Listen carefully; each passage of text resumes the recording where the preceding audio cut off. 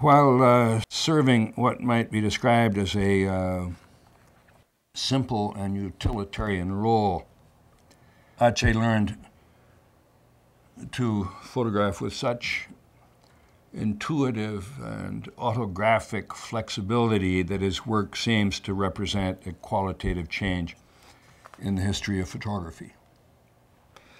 It was uh, possible for Atget to return again and again to his uh, favorite motifs, for he knew that an infinite number of pictures was potential in them. And he knew that none of these pictures was true in the sense that it shared a privileged identity with the object photographed. He did not confuse his, his subject with the object. He understood that the true subject was defined by and was identical with the picture.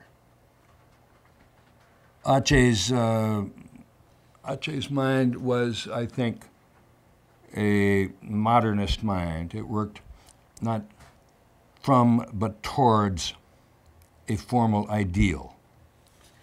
Its conception of form was not nuclear but galactic, relative, plural, provisional, and potential. He practiced photography not to express what he knew and felt, but to discover what he might know and feel.